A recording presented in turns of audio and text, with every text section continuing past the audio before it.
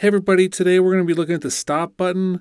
Yesterday we looked at the start button. Today we're looking at the stop button. And of course, if you're just tuning into this channel for the first time, or if you've been coming back some but you're not subscribed, don't forget to subscribe because we're going to be doing a bunch of videos the rest of this month.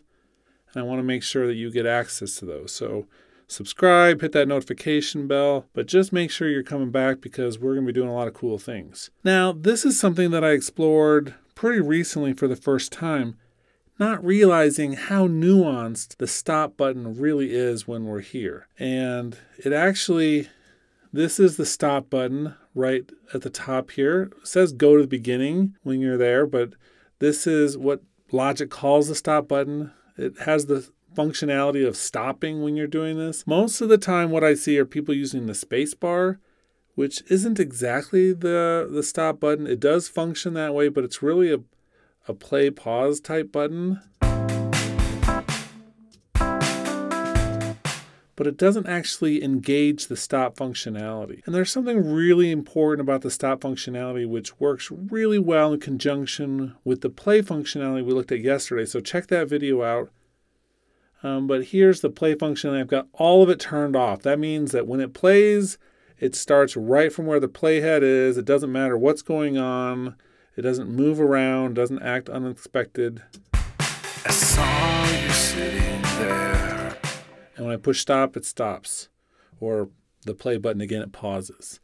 Now, with the stop button, we have a number of different options. We can say stop. We can actually come through and have it stop and go to the left locator. You have to have one of these selected. So we can go to the left locator, or we can go to the last locate position. So this is kind of like the play button, except that with the play button, when you choose one of these options, so say you have it set to play from last locate position, the big difference is that with that one, the playhead will stay exactly where it is until you push play and then it will go there.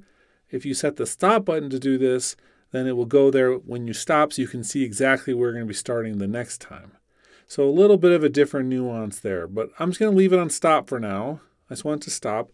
I'm using the zero on the keypad most of the time for this, just because I, I like having it as an actual stop button. That's the default key command. But what I want to do is show you something that's really cool with this functionality.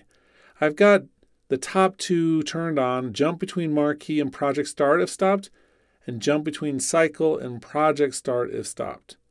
So these are the two in the hierarchy that will take place.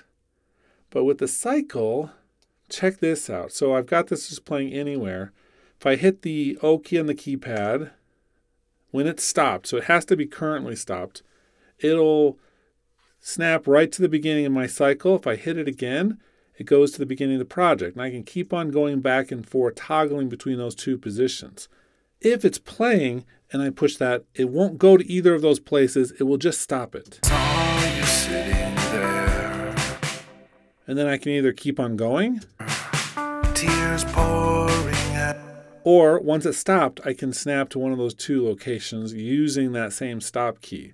So why is that useful at all? First of all, I have my cycle or snap to cycle turned off, play from cycle in my play button. Now, if you have that turned on, which is the default for most people, and I push play, it'll play straight from the cycle, and you'll find yourself constantly turning that on and off if you want to play from someplace else or whatever. So now you can leave the cycle on. It'll never snap there automatically, but I can push play. Let's turn that back off. Now I can push play anywhere and it'll play from there. And when it's stopped, if I want to get to there really easily, I just push the stop key and it'll take me to the beginning of the cycle. It will cycle this still. So, I mean, if it gets to the end of the cycle, it will do that in a loop because the cycle is activated still.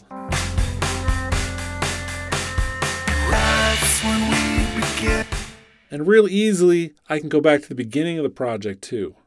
So I can get around in a lot more places, a lot more efficiently when I'm working on a specific thing than with just the, the space bar controlling my transport.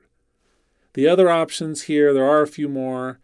we can jump between selected region and the project start, or we can do the last locate position the project start.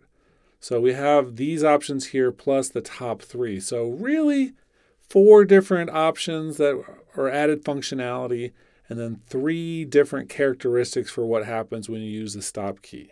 Okay, that's it for this. I just want to look at that. Of course, just as a reminder, there are a number of other key commands that you can use to what happens or to stop and move to a certain place. Those aren't directly part of the stop button, it's just an additional set of tools which will give more ways to stop your project. Who knew you needed this many ways to be able to do that? But this one in particular, that stop button going back and forth, is so useful when working in projects. Okay, hope you're having a great day. We are doing another video coming right up tomorrow, so check it out. Keep on coming back.